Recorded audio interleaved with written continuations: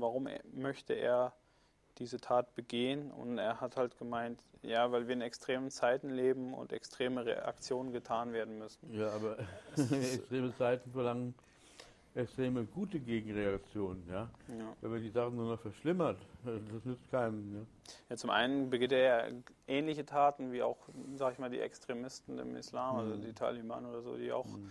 ähm, ja, die, die Buddha-Statuen hochsprengen mhm. oder solche Sachen.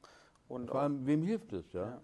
Also, ja gut, der Kirche, weil sie ist sehr jetzt in, in, gut, ist, im äh, Fernsehen, überall in den Medien sehr ob, groß. Ob der Kirche hilft, also ich glaube im Gegenteil, es wird viele Leute abschrecken. Also ich habe mit Pfarrern gesprochen, hm. deswegen die waren natürlich entsetzt. Ja, ja gut, aber in Amerika, die evangelikalen Extremen, also das ist, die ja, haben schon weiß, einen großen ja. Zulauf. Aber man muss natürlich auch sagen, die National Association of äh, Evangelicals, also die in den USA, diese äh, Vereinigung, hat auch sehr, sich sehr stark dagegen ausgesprochen, gegen diese Aktion. Also sie hat auch versucht, diese Duff Church davon abzubringen, durch Statements, durch Bekanntmachungen, durch verschiedene Aktionen auch.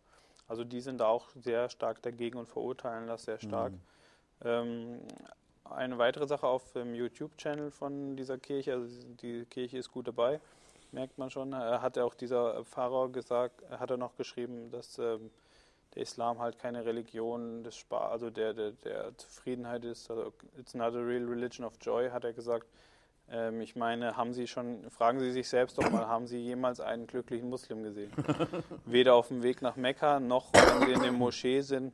Also es sieht doch nicht wie eine Religion of, also ja, of Joy aus, also es ist Spaß, also, Glückseligkeit. Verbotener Unverstand, also, ja. also ich weiß nicht, äh, der Mann äh, redet da und äh, redet sich um Kopf und Kragen. Also Glauben Sie, dass es einfach nur darum, um Aufmerksamkeit zu gewinnen oder hat das vielleicht wirklich ja, ernst gemeint? Die logischen Gründe sind, wer weiß es. Ne? Also vielleicht meint er wirklich, das, das, das für eben seinen Jesus zu tun, ja. Aber es äh, ist vollkommen in die Irre gegangen. Also das ist nicht äh, im Sinne dessen, was wir von Jesus kennen, als dem Friedensfürsten und äh, es ist äh, auch nicht so, dass er da einen geraden Blick hätte für die Muslime. Also wen kennt er denn also an Muslimen? Oh, der hat ja gesagt, in dem Interview hat er auch noch gesagt, es gibt zwar moderate Muslime, aber keinen moderaten Islam. Und wenn die Muslime nach Amerika kommen wollen, dann sind sie willkommen, aber ihre Religion nicht.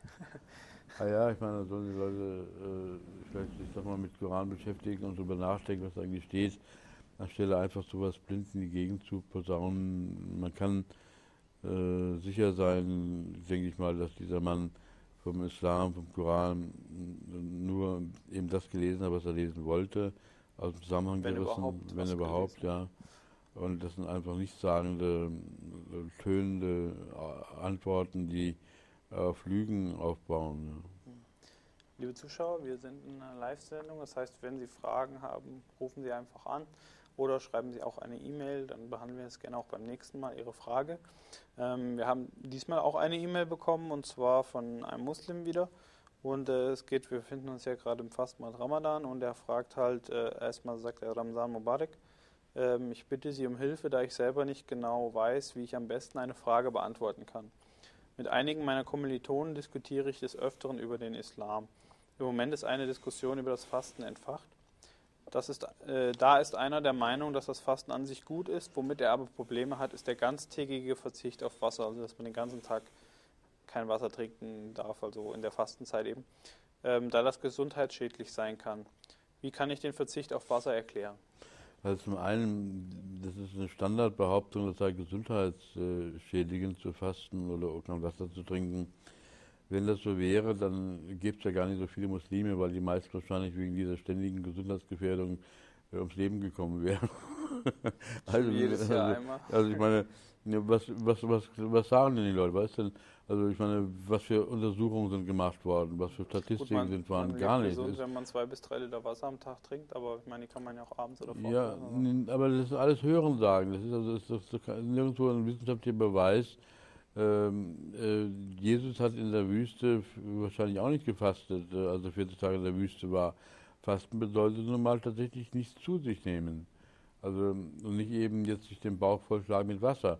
Wenn Wasser erlaubt wäre und nur das äh, Zunehmen von fester Nahrung verboten wäre, dann würden die Leute von morgen bis abends nur Wasser trinken. Und der ganze Sinn des Fastens, nämlich äh, den Körper sozusagen zu verlassen, wäre dahin. Also es ist einfach äh, unlogisch, so eine Forderung aufzustellen, man soll Wasser trinken dürfen, weil das würde dem Fasten also den Chaos machen letztlich. Ja. Der nächste sagen die Leute, man braucht noch Vitamine, man muss das Wasser mit Vitaminen äh, füttern und äh, also das ist alles äh, nicht durchdacht und äh, vor allem äh, das Schönste ist immer, wenn solche Leute sowas sagen und niemals selbst den Versuch gemacht haben. Mhm. Also einfach nur so Lehrer, oberlehrerhaft über den anderen herfallen.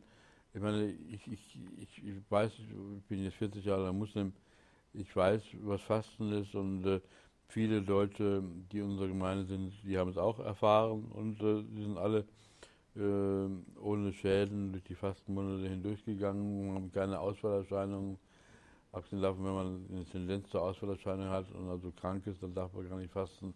Aber für einen gesunden Menschen, egal ob Mann oder Frau, ist äh, das Fasten inklusive Wasserverzicht äh, nicht gesundheitsschädigend. Ja. Sie haben es gerade kurz angesprochen, kranke Leute, die vielleicht auch Wasserprobleme haben, also dürften ja gar nicht fasten. Auch Leute, die schwer arbeiten, wo sie vielleicht viel trinken müssen, das wäre auch gesundheitsschädlich dann auch wieder ist. Äh, wie ist es damit? Also ich stelle mir halt gerade vor, jemand muss an einer schweren Maschine arbeiten und kann. Ja, ich meine, der Koran sagt ja ganz eindeutig, jene, die es schwerlich einhalten könnten, heißt es wörtlich, ja. ähm, denen äh, ist die Möglichkeit gegeben, eine Ablöse zu, äh, zu zahlen. Äh, und mit schwerlich einhalten können, da, ist, da geht vieles drunter. Ne? Ja, also, nicht, also die, die Kranken sind eh ausgenommen, aber damit sind nicht nur die Alten gemeint, die Schwachen und äh, Siechen auch, äh, sondern eben auch Schwerstarbeiter. Äh, das muss jeder mit Gott ausmachen letztlich, äh, aber ein Fußballer oder ein äh, Schwerarbeiter, der eben nicht dann die volle Kontrolle über seinen Körper mehr hat, wenn er fastet, der ist sicherlich auch ausgenommen vom Fasten. Also Leute, die muss dann die Ablöse zahlen. Ja. Genau. Die Leute, die auf Reisen sind, auch entsprechend. Leute, die auf Reisen sind, auch entsprechend. Kinder sowieso, Schwangere sowieso. Also das ist alles nicht so, wie die Leute es denken. Also das Fasten ist eine äh, hohe Disziplin. Ja, ich sehe gerade, wir haben ein Telefon. Ja, hallo? Hallo? Ja, hallo? Ja, hallo? Ähm, ich wollte mal fragen, ob man beim Fasten Augentropfen nehmen darf. Also Augentropfen ist eine äußere Krankheit und ist eine äußere Behandlung. Äh, ich sag mal von mir aus, äh, ohne dass da jetzt ein Mufti, also ein Richter zu Rate ziehen kann, das ist nichts verboten weil es eine rein äußere Behandlung ist und äh, verboten ist nur, wenn etwas in den Körper eindringt, also äh, wie die, die, Kehle runtergeht sozusagen oder ähm, also aufgenommen wird vom Körper, ja, aber Augentropfen nicht verboten. Ja, es gibt ja auch dieses Gebot, also wenn man sich verletzt und Blut austritt und man macht ein Pflaster drauf oder so, also ist ja auch kein Fasten gebrochen dadurch, sondern das ist ja auch Wusu kein... ist gebrochen. Bitte? Die Wusu ist aber. Ja, ja, Wusu ist gebrochen, ja. Aber Fasten wird, wird eben dadurch gebrochen. Also wenn ja. wir jetzt eine Transfusion oder sowas bekommen würde, dann wäre auch. Dann, dann wäre es ein Krankheitsfall. Genau, ja. dann wäre es ein Krankheitsfall. Und so. Okay, dann würde ich sagen, haben wir die Frage soweit ähm, besprochen.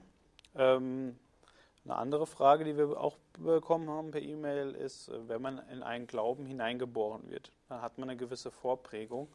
Äh, wie kann man aber dennoch behaupten, dass man von Gott neutral beurteilt wird, beziehungsweise gerecht beurteilt wird? Ja, die Prägung ist das eine und das äh, äh, selbstständige Denken lernen und begreifen lernen, wovon man geprägt ist, warum man geprägt ist, ob die Prägung gut ist oder schlecht. Die Prägung ist ja nicht ähm, äh, von sich aus schlecht, ja. Also man kann eine gute Prägung haben.